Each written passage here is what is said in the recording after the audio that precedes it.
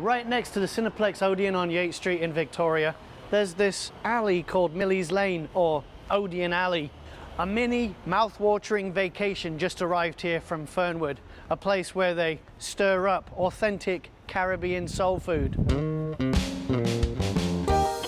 Stir It Up restaurant has been an authentically spicy attraction in Victoria since 2007, with its previously popular location in Fernwood Square. But now it's been relocated downtown to the bustling 700 block on Yates Street. Restaurant owner Natalie Justin says the plan is to boost business with more foot traffic and business clientele. But the one ingredient that remains in all of her menu items Fernwood love. Now it's just live. Now you can just do quantity. Boom, boom, boom, boom, boom. Oof.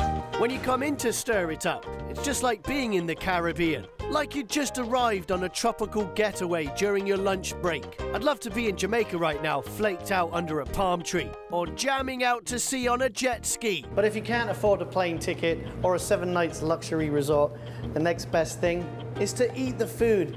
Uh, Natalie, what are we going to make today?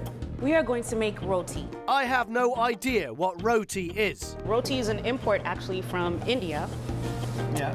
which was carried over to the Caribbean.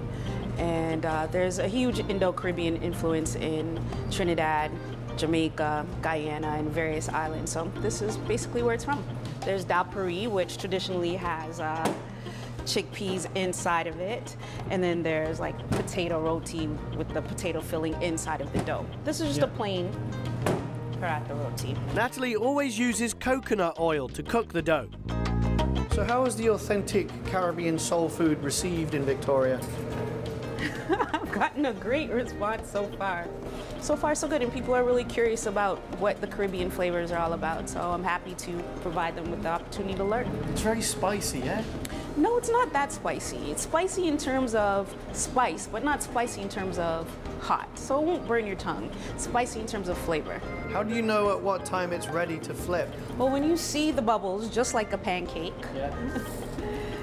do a little test. You lift it up from the edge, and the steam is coming through, so it's cooking on the inside as well as getting crisp on the outside. My mom was one of my major influences in the kitchen because uh, I guess I wasn't the best behaved child, so I had to spend a lot of time in the kitchen as a way to keep me That's what this was on the for, straight eh? and narrow. Yes, that and this. While Natalie perfects the roti dough, have a look at the artwork that decorates the walls. Originally from Trinidad, contemporary artist Zu is displaying his canvas work to tie in with Black History Month. Well, the recent uh, movement, Black Lives Matter, um, has been really inspiring because it's been a space for people to connect with each other and also to grieve um, what's been going on.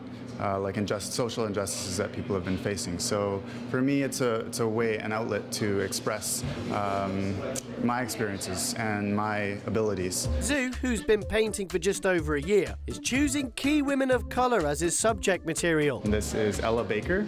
Uh, and she was, you know, right up there with Martin Luther King, helping organizing um, the March on Washington.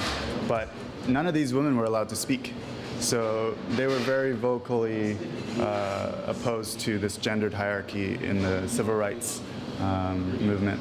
And this would have been like 1960s USA. 1964, 1965. As a token of his appreciation for the work Natalie does at Stir It Up, he also created a painting of her. You know, capture Natalie creating, you know, those those powerful uh, blend of spices. And your choices today are And Natalie's now ready to fill the roti that we've been making. She fills it with curried potatoes, chickpeas, and jerk chicken. a little bit of tamarind chutney, which we make in-house, as well as the hot sauce. That jerk sauce is, mm. So you take it from the bottom, Yeah. you fold it in the middle, Yeah. you take the two sides, fold it in the middle, and then you flip it over. You can taste the love, you can taste the authenticity, and that's what I love about it. What's your favorite dish? Oh, it's got to be uh, the roti, the chicken roti. All day, every day. I've had hundreds of them. That's So what I'm making today, by the way. Amazing. Amazing. See, best choice, right? That's the number one stunner right there. It's good. I'm actually making it for you. Oh, really? That's amazing. Yes. In Victoria with a Caribbean flavour, I'm James Green. Mm.